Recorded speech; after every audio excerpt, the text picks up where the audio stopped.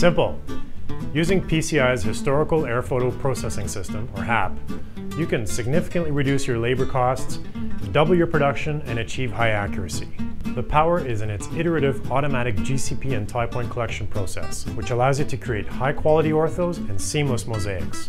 To find out more about the Historical Air Photo Production System, just head to our website at www.pcigeomatics.com.